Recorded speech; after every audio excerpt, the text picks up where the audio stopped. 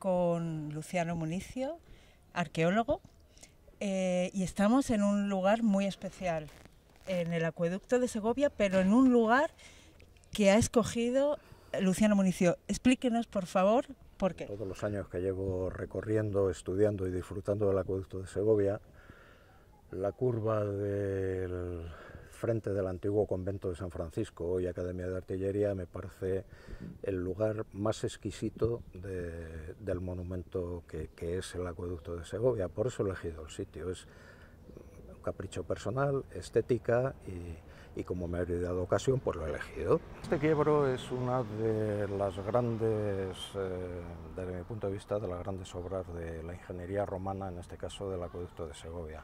Es el punto donde hay que cambiar de forma drástica la dirección de caída del agua con su pendiente, con eh, su, ritmo necesario en cuanto a metros cúbicos por segundo, en cuanto a abastecimiento de la ciudad. Y todo eso, desde el punto de vista de la ingeniería, es complicado cuando tienes que hacer una desviación drástica del trazado. En este caso, desde el punto de vista de la ingeniería, y no opino yo, he oído y he, asumido las interpretaciones de, muchos ingenieros, arquitectos y estudiosos del monumento, eh, parece una de las mejores soluciones que se podía haber dado nunca para eh, hacer la entrada en, la ciudad a través del punto más complicado, que es el valle, eh, lo que entonces era un valle, ahora nos parece que no, pero sigue siendo un valle, que es el cruce del Azoguejo desde el barrio del Salvador hasta, hasta el Postillo. El nuevo ayuntamiento eh, quiere sacar, está ya en cocina, una nueva, bueno, una ordenanza del acueducto, de protección del acueducto.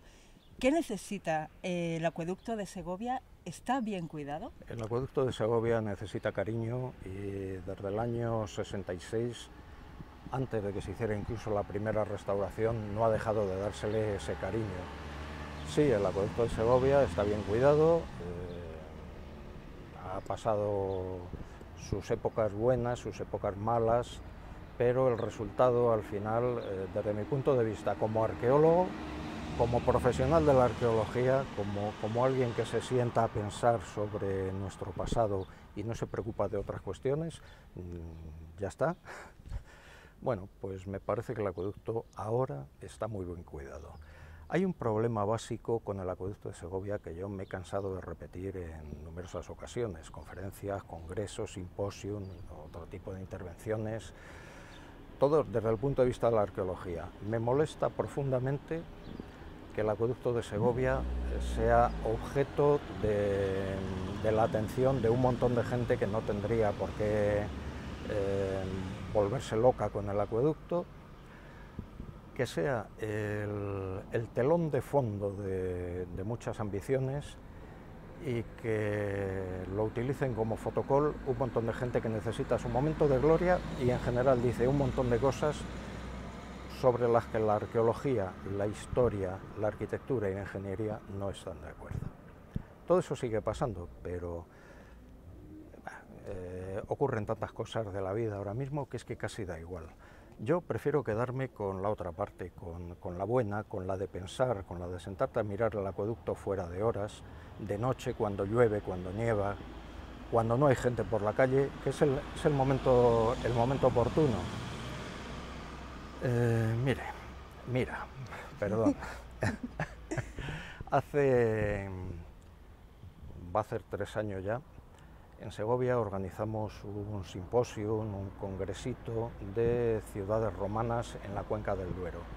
Vinieron a Segovia todos los colegas, todos los compañeros que están trabajando en, ciudades romanas, tanto en Castilla y León como en Portugal, que también vinieron.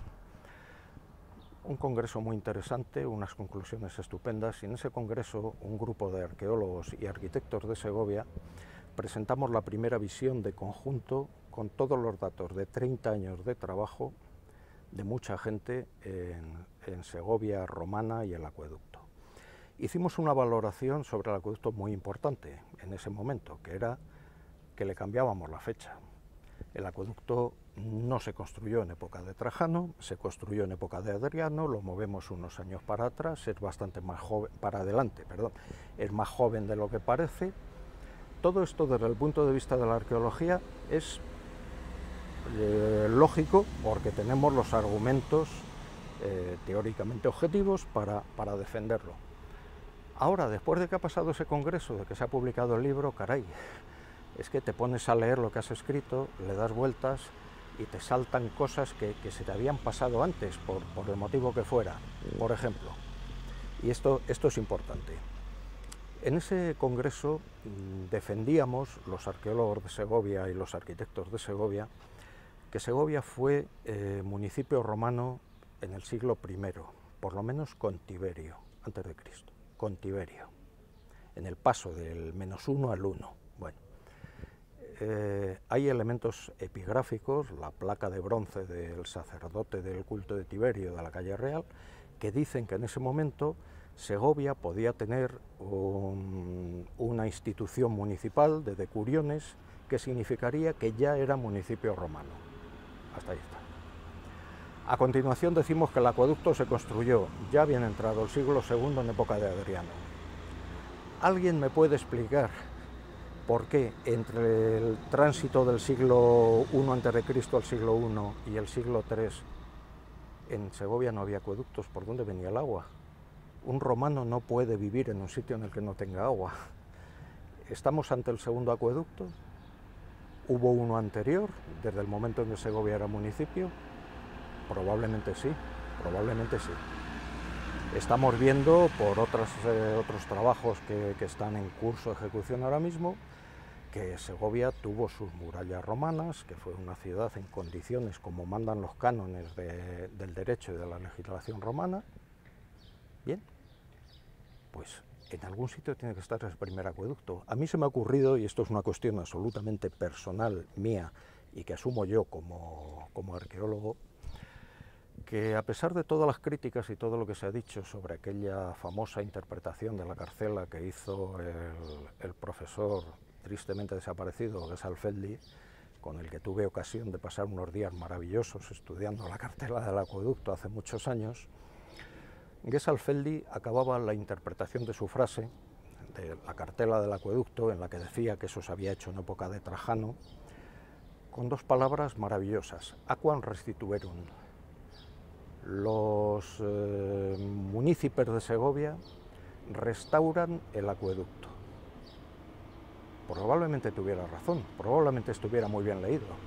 Probablemente en época de Adriano lo que se hace es modificar, modernizar y renovar una conducción de agua que ha estado prestando servicio de forma, no sé si precaria o, en peores condiciones, durante tres siglos y que llega un momento en que hay que arreglarla. Es que el acueducto tiene reformas dentro del mundo romano, tiene reformas en la Edad Media, tiene reformas en el Renacimiento, tiene reformas en época de Isabel II, tiene reformas hasta, hasta hace cuatro días, porque es que era el único sistema de abastecimiento a Segovia.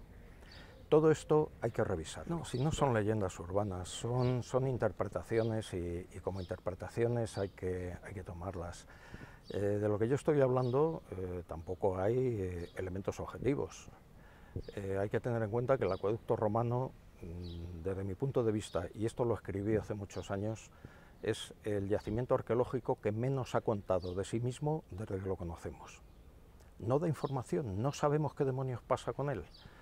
Hemos conseguido dar la fecha gracias a una excavación complejísima que se hizo durante la última restauración del acueducto en los años 90 Bien, todo eso sí, eh, parece que se ajusta bastante bien, pero todo lo demás, todo lo demás, ¿dónde está?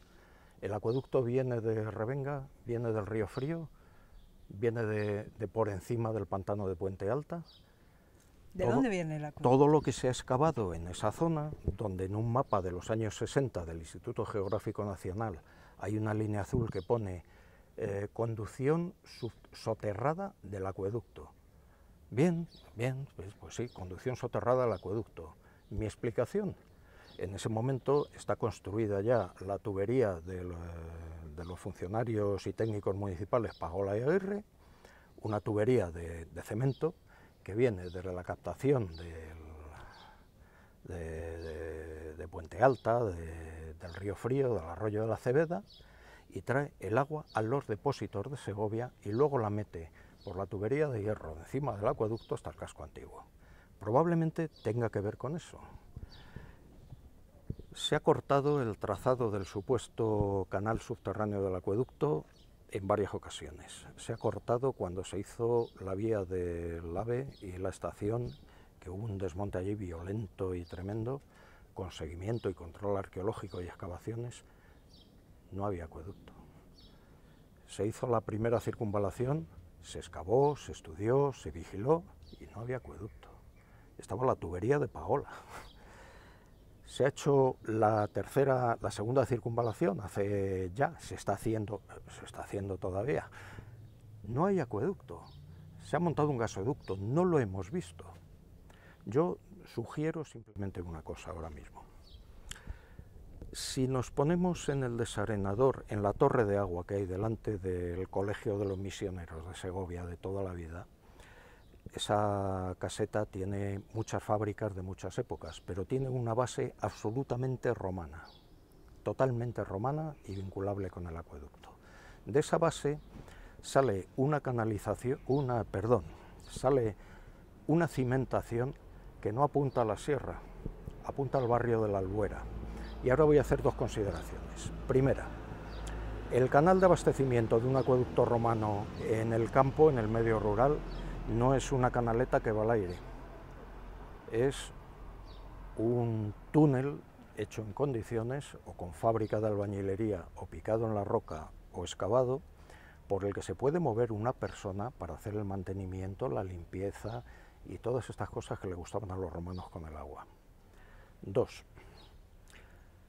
de los acueductos de Roma, y ahora me voy al libro de Frontino, que es el sumum de, de los acueductos de Roma, solamente uno estaba conectado a un río, no a un manantial, a un río a de superficie. Y dice Frontino con todas las letras que esa agua no valía para beber porque era muy mala. Se bebía agua de manantial. ¿Qué tenemos en la albuera? A donde apunta esta canalización que sale de la caseta, no a la sierra, no a la Fuenfría.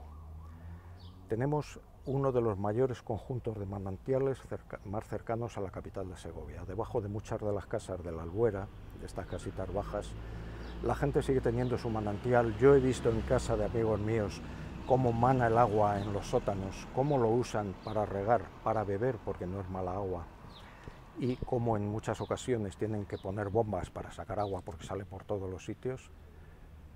Eh, ¿No sería posible que un romano con un cierto grado de inteligencia tuviera un manantial a un kilómetro de la capital y enchufara el acueducto a esta zona y no a 15 kilómetros a la sierra?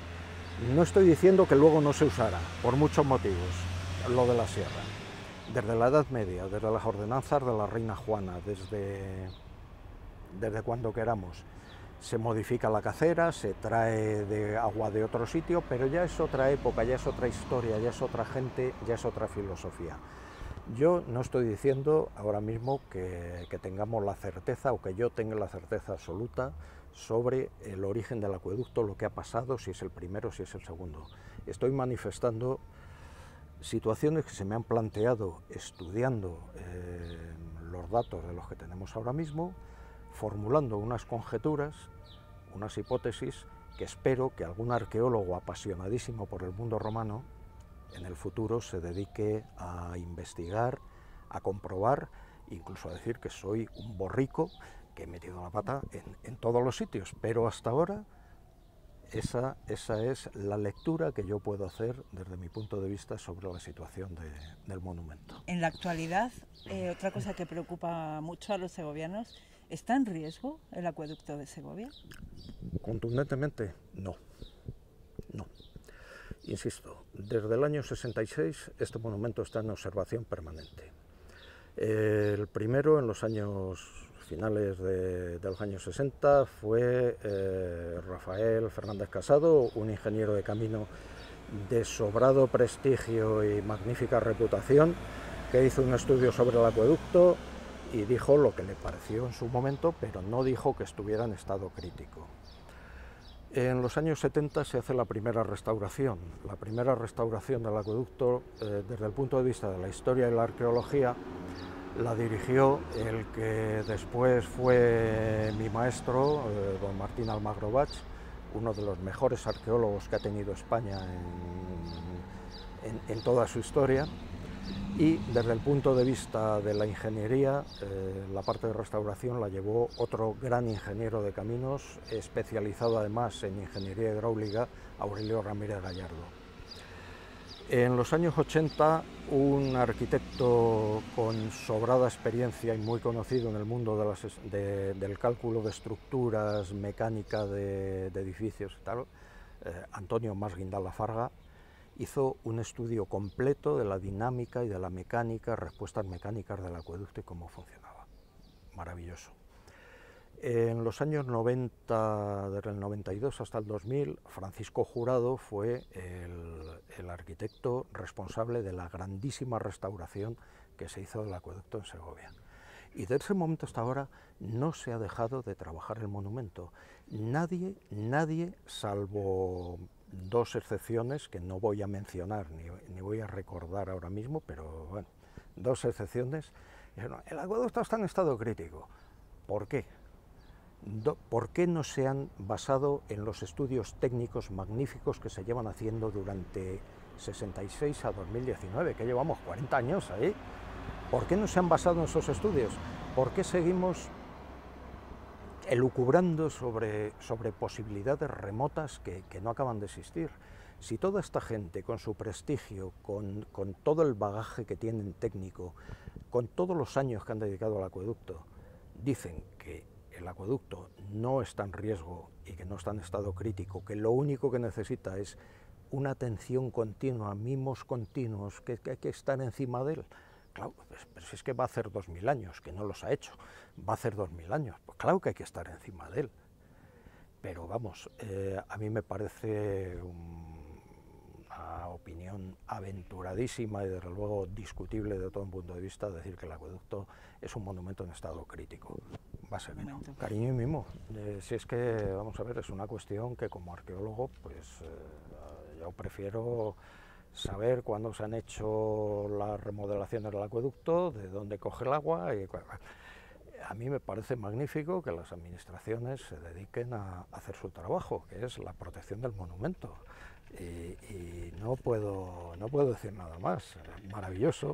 Todo lo que sea que el acueducto esté en condiciones, todo lo que sea, evitar que entre la junta, en las juntas de los sillares del acueducto aparezcan chicles, latas de Coca-Cola apretadas, bolsas de caramelos, o, que tengamos que ver a un orangután, uy, perdón, a, un ser trepar por el acueducto, todo eso me parece maravilloso, maravilloso, pero vamos, me parece a mí como arqueólogo, yo creo que le tiene que parecer a cualquier ciudadano, sea de Segovia o sea de San Petersburgo, que, venga aquí y vea el acueducto. Eh, la verdad es que la combinación Acueducto de Segovia y el arqueólogo Luciano Municio da para muchas más entrevistas. O sea que continuaremos. Eh, vamos a terminar preguntando eh, si quieres añadir algo más. No me atrevo de mirar el acueducto y de pasearle durante muchas noches. Sobre todo me gusta pasearle cuando llueve y no hay gente por la calle y es de noche y hace frío. Maravilloso cómo me gustaría poder dar algún día con el sistema de distribución de agua en el interior de la ciudad. Casi me da igual de dónde venga, que va a ser de la Albuera. Casi me da igual, pero va a ser de la Albuera, en origen. ¿Cómo me gustaría poder dar con el sistema de distribución interior de la ciudad? ¿Y eso cómo se puede conseguir? Excavando. ¿Y cómo se excava en una ciudad? Cuando se puede, donde se puede y en la extensión que se puede. Es el problema habitual de la arqueología urbana y de las limitaciones que tenemos en este campo. Pero cuando nos dan unos cuantos metros cuadrados salen cosas muy buenas.